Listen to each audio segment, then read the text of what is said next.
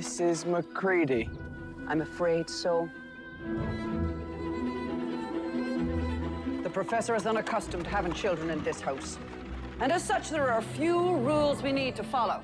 There will be no shouting or running, no sliding on the banisters, no touching of the historical artifacts. And above all, there shall be no disturbing of the professor. 96, 97, 98, 99, 100. Ready or not, here I come.